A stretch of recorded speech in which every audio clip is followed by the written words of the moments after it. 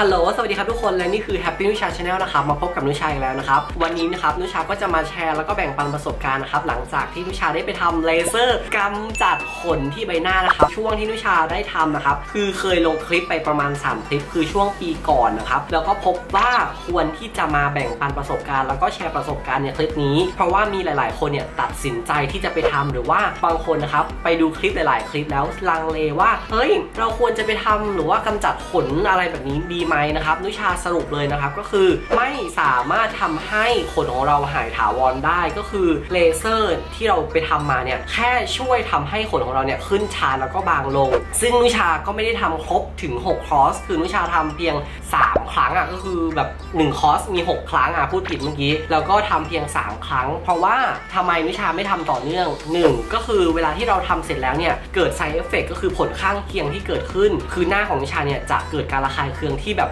รุนแรงพอสมควรเลยก็คือแบบเกิดอาการอักเสบเกิดซิวขึ้นอะไรอย่างเงี้ยเกิดขึ้นได้ แล้วก็ข้อ 2 ก็คือระยะเวลาในการพักผิวหน้าเนี่ยนานก็คือประมาณ 1-2 สัปดาห์ทำให้เวลาที่เราจะไปที่ไหนไปต่างจังหวัดไป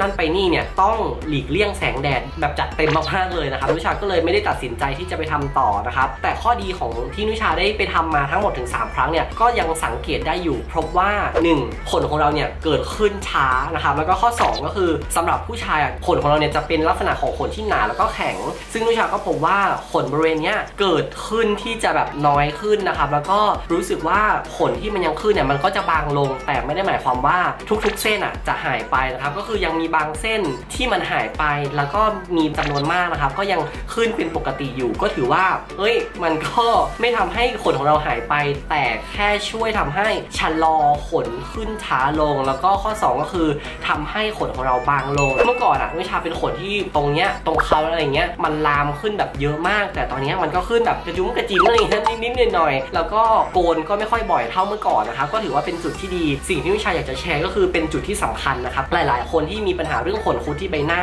คือเวลาที่เราเป็นสิวขึ้นใบหน้า เราจะสังเกตได้ว่าบางคนที่เป็นขนคุดนะครับขนมันจะขึ้นบริเวณที่เป็นสิวพอดี คือมันเหมือนแบบแทงออกไม่ได้อะคือทำให้เกิดการอักเสบ อันนั้นอะเรียกว่าขนคุด ซึ่งนุชาพบว่าหลังจากที่นุชาได้ไปทำคือนุชาจะมีขนคุดบริเวณแนวกรามแบบเนี้ยค่อนข้างที่จะเยอะเมื่อก่อนประมาณแบบ5-10 เมตรเลย เวลาที่มันขึ้นเวลาที่เราโกนขนนะครับพบว่าขนคุดของนุชาหายไป ตอนนี้ก็ไม่ได้ขึ้นขนคุดแล้วครับก็ถือว่าเป็นจุดที่นุชารู้สึกว่ามันโชคดี ซึ่งหลายๆ คนที่มีปัญหาเรื่องขนที่จะเยอะ หรือว่ามีขนที่เยอะมากๆนะครับควรที่จะทำแบบต่อเนื่อง แล้วก็จนทำให้ผิวเราดีขึ้น หรือว่าขนของเราอะน้อยลงจริงๆนะครับก็ถือว่าเป็นสิ่งที่นุชาอยากจะมาแชร์ แล้วก็แบ่งปันประสบการณ์ ถามว่าทำไมทำไมนุชาถึงไม่ไปทำต่อก็ด้วยเหตุผลที่นุชาได้พูดไปว่านุชาไม่มีเวลาที่จะไปแล้วก็ทน side effect หรือว่าผลข้างเคียงที่มันเกิดขึ้นเนี่ยไม่ได้ แล้วก็ข้อ 3 ก็คือนุชาเนี่ยจ่ายเงินเองทุกบาทนะครับนุชาไม่ได้ไปรับสปอนเซอร์จากคลินิกอะไรเลยนะครับดังนั้นสิ่งที่นุชาได้ทำหรือว่าตัดสินใจทำเป็นสิ่งที่นุชาทำแล้วก็ตัดสินใจเองร้อยเปอร์เซ็นต์นะครับก็คืออยากจะมาแชร์ประสบการณ์แล้วก็มาแบ่งปันให้ทุกคนได้ทราบกันนะครับโอเคนะครับ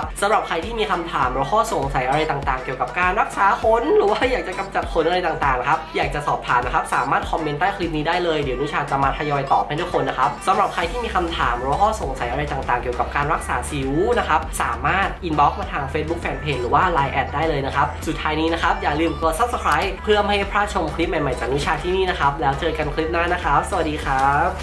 bye bye